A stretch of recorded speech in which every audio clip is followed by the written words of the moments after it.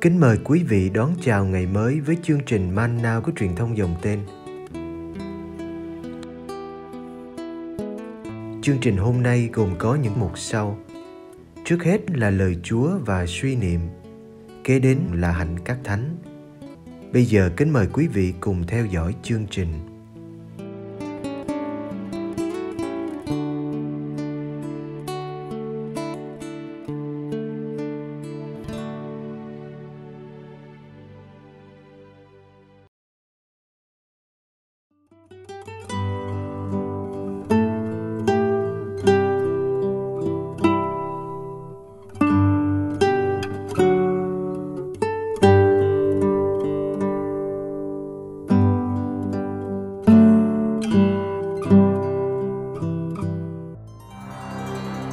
Ông Gia kêu Luca chương 19 từ câu 1 đến câu 10 Sau khi vào Jericho, Đức Giêsu đi ngang qua thành phố ấy. Ở đó có một người tên là Gia Kêu. Ông đứng đầu những người thu thuế và là người giàu có. Ông ta tìm cách để xem cho biết Đức Giêsu là ai, nhưng không được vì dân chúng thì đông mà ông ta lại lùn ông liền chạy tới phía trước, leo lên một cây sung để xem Đức Giêsu vì người sắp đi qua đó.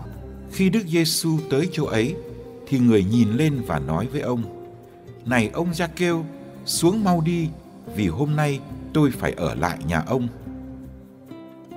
Ông vội vàng tụt xuống và mừng rỡ đón rước người. Thấy vậy mọi người sầm xì với nhau. Nhà người tội lỗi mà ông ấy cũng vào trọ Ông Sa kêu đứng đó thưa với Chúa rằng, Thưa Ngài, đây phân nửa tài sản của tôi, tôi cho người nghèo, và nếu tôi đã chiếm đoạt của ai cái gì, tôi xin đền gấp bốn. Đức Giêsu mới nói về ông ta rằng, Hôm nay, ơn cứu độ đã đến cho nhà này, bởi người này cũng là con cháu tổ phụ Abraham. Vì con người đến để tìm và cứu những gì đã mất.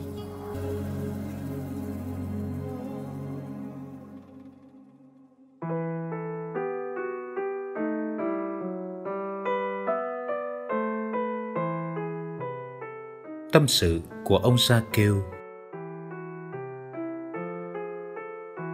Người ta bảo tôi vừa giàu lại vừa có quyền vì tôi đứng đầu những ông thu thuế. Tôi thì luôn thấy mình nghèo, rất nghèo. Ai không được kính trọng đều là những kẻ nghèo, bất chấp họ giàu có và có quyền lực đến đâu. Nghe nói có một người không khinh các ông thu thuế, đó là ông Giêsu một người đặc biệt lạ thường. Tôi rất muốn nhìn thấy mặt ông ấy. Bởi đó, khi nghe đồn ngài sắp vào thành jericho, tôi háo hức tìm cách thấy ngài là ai.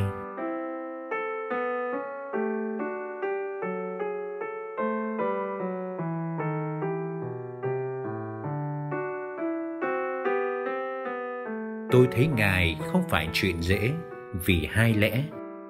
Thứ nhất, vì đám đông quá lớn vây quanh Ngài. Thứ hai, vì tôi thấp bé, chỉ đứng tới lưng người khác. Những cản trở này có thể làm cho ai đó nản lòng, nhưng tôi thì không. Tôi quyết thấy mặt Ngài bằng mọi giá. Tôi nghĩ ra được một kế, đó là chạy vượt qua đám đông và leo lên một cái cây sung trên đường Ngài đi qua. Từ trên cây, tôi có thể dễ dàng thấy được ngài. Có một điều tôi không thể ngờ là khi đến chỗ cây sung, ngài đã dừng lại và ngước lên nhìn tôi đang đu trên đó. Vì thế, mọi người cũng dừng lại và ngước lên nhìn tôi. Trong con mắt nhìn làm tôi đỏ mặt. Chắc họ không hiểu tại sao tôi đang ở đây.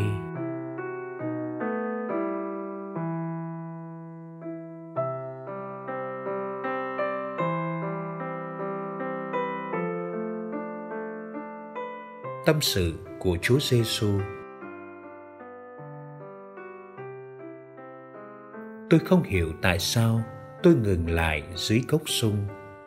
Một mách bảo nào đó cho tôi biết có ai đang chờ mình khi nhìn lên, tôi thấy ra kêu như đang cố thu mình lại chúng tôi thấy nhau và tôi thấy ngay ao ước của ông ấy lập tức tôi bị thúc bách phải đến nhà ra kêu.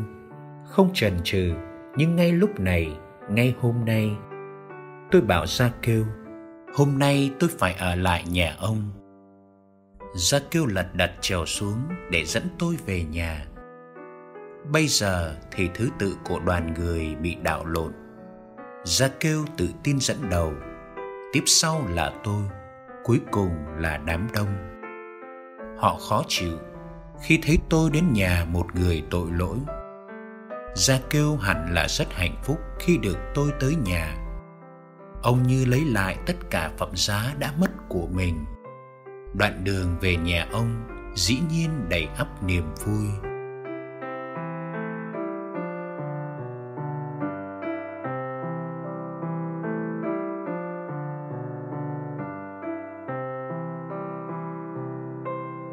Tâm sự của ông Gia Kêu.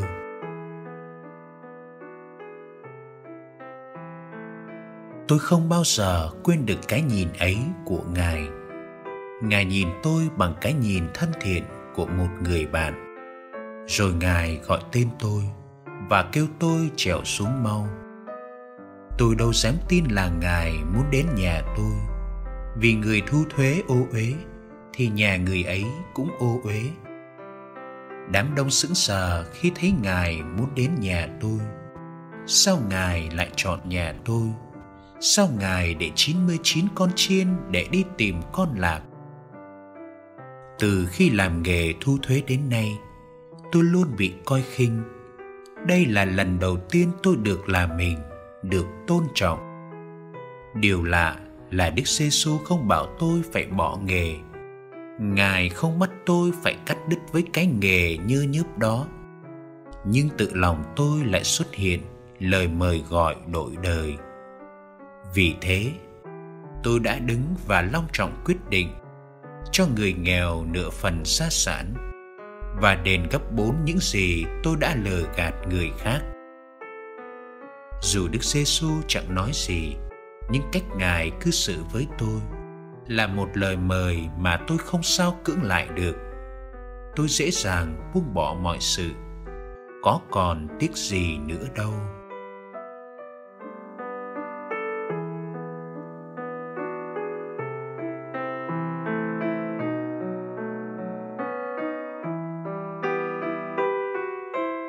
Tâm sự của Chúa Giêsu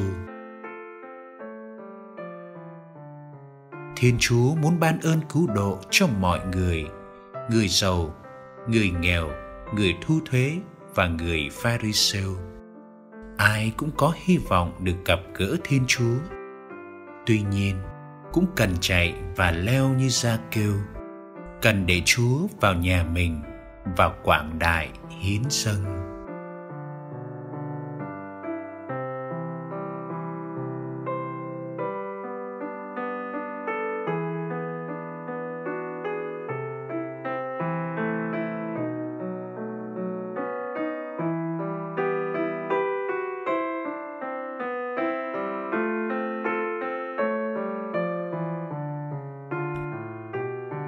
Cha, sống là tìm kiếm. Mỗi người chạy theo điều mình kiếm tìm.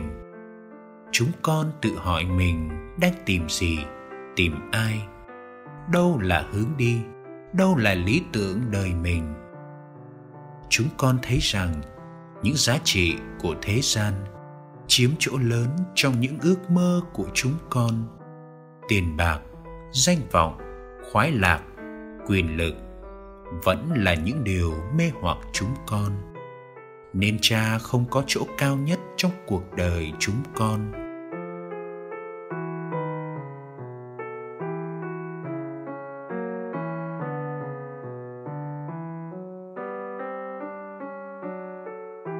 Lạy cha, xin ban cho chúng con ơn hoán cải, xin đánh thức chúng con khỏi cơn mê và làm chúng con tỉnh ngộ để nhận ra giá trị đích thực.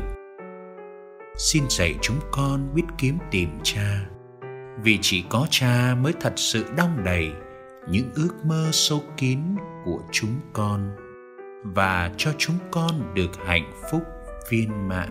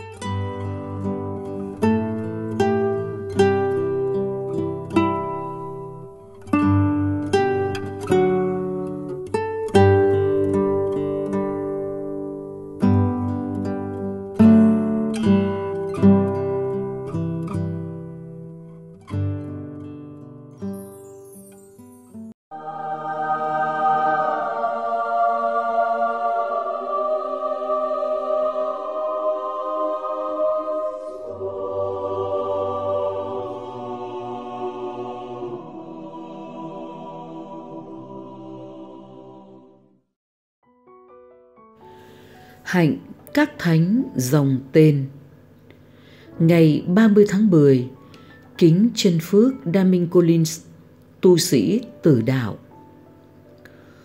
Cuộc sống cũng như cái chết của chân phước daming Collins gắn liền với dân tộc và hội thánh Ireland. Đảo Ireland đón nhận tin mừng do Thánh Patricio đến rao giảng vào giữa thế kỷ thứ năm. Người dân Ireland nổi tiếng về lòng trung thành với đức tin và hội thánh. Ireland bị đế quốc Anh đô hộ từ thế kỷ thứ 12. Năm 1541, vua Henry thứ 8 của nước Anh tự xưng là vua của Ireland và ép buộc dân Ireland theo Anh giáo. Trừ một vài gia đình quý tộc quy thuận để hưởng lợi, hầu như toàn bộ dân Ireland vẫn trung thành với hội thánh công giáo. Để củng cố các tín hữu, năm 1560, Đức Thánh Cha Pio thứ tư cử linh mục dòng tên người Ireland là cha David Wolf làm sứ thần tòa thánh tại đây. Một số thừa sai khác cũng theo ngài đến thị trấn Cork ở miền Nam. Nữ hoàng Elizabeth II cho quân đội Anh tràn vào Ireland giết hại các giám mục và linh mục, triệt hạ các tu viện và thánh đường. Năm 1595, dân Ireland khởi nghĩa chiếm lại được miền Bắc và mời dòng tên tới phục vụ. Trần Phước Daming Collins thuộc số những anh em này. Ngài sinh năm 1566 ở thành phố cảng Yugan, miền Cork, Ireland.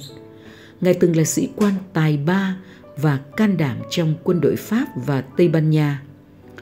Năm 1598, Ngài xin làm tu huynh trong dòng tên và tình nguyện cùng đi với một linh mục về quê hương chia sẻ với đồng bào vốn đang quằn quại giữa ách thống trị của quân đội Anh.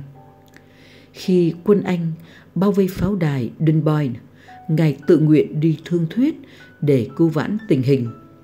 Ngài bị quân Anh bắt đưa về Cork quê ngài để dụ dỗ ngài bỏ hội thánh công giáo.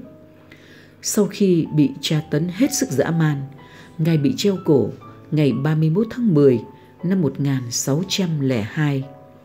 Ngài được Đức Thánh Cha Gioan Phaolô thứ hai tuyên phong chân phước ngày 27 tháng 9 năm 1992.